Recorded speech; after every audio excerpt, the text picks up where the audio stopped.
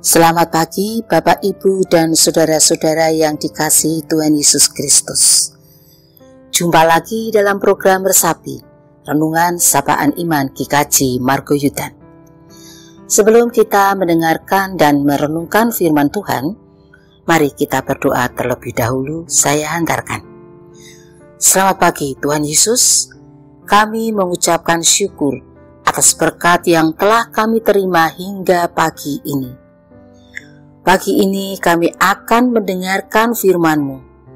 Bukalah hati kami supaya bisa menerima dan mengerti akan firman-Mu, supaya kami bisa menjalankannya di dalam kehidupan kami sehari-hari. Tuhan Yesus, pagi ini kami juga bersiap-siap untuk melakukan aktivitas rutin sehari-hari. Kami mohon pertolongan dan penyertaan dari Engkau sehingga kami bisa melakukan aktivitas yang sudah kau percayakan kepada kami. Ampunilah segala dosa dan kesalahan yang telah kami perbuat, dan jadikanlah kami pribadi yang lebih baik setiap harinya. Di dalam nama Tuhan Yesus Kristus, doa yang tiada sempurna ini kami panjatkan. Amin. Bapak, Ibu, dan Saudara yang dikasihi Tuhan Yesus, Renungan pagi ini saya ambil dari Imamat pasal 6 ayat 12 sampai 13. Imamat pasal 6 ayat 12 sampai 13. Api yang di atas misbah itu harus dijaga supaya terus menyala. Jangan dibiarkan padam. Tiap-tiap pagi, imam harus menaruh kayu di atas misbah, mengatur kurban bakaran di atasnya, dan membakar segala lemak kurban keselamatan di sana. Harus dijaga supaya api tetap menyala di atas misbah. Janganlah dibiarkan padam. Demikianlah firman Tuhan. Bapak, Ibu, dan saudara-saudara yang dikasih Tuhan Yesus, renungan pagi ini saya beri judul supaya api iman tetap menyala. Tuhan memerintahkan para iman melalui Musa untuk senantiasa menjaga nyala api di atas misbah supaya menyala terus, jangan sampai padam. Pastinya, para peimam bekerja untuk selalu memastikan kayu takarannya tercukupi untuk sepanjang hari. Demikian juga dalam kehidupan kita, perlu mengusahakan api iman kita tetap menyala, jangan sampai dibiarkan padam.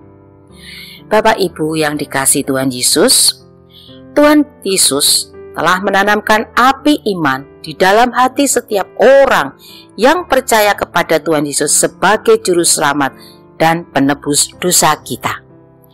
Kadang api iman kita akan meredup jika kita mengalami kondisi yang tidak sesuai dengan harapan kita. Akhirnya, kita bisa marah, kecewa, kesal, sehingga keluarga kita kehilangan kedamaian. Kalau hal ini tidak segera kita sadari, maka kita akan mulai menjauh dari Tuhan. Ingat, Tuhan tidak menjauhi kita. Tuhan selalu menyediakan waktu untuk bertemu dengan umatnya. Walaupun manusia jatuh di dalam dosa, Tuhan selalu setiap untuk mengampuninya.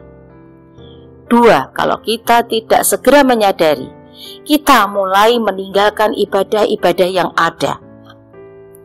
Tiga, kalau kita tidak segera menyadari, kita tidak tinggal lagi di dalam kasih Tuhan.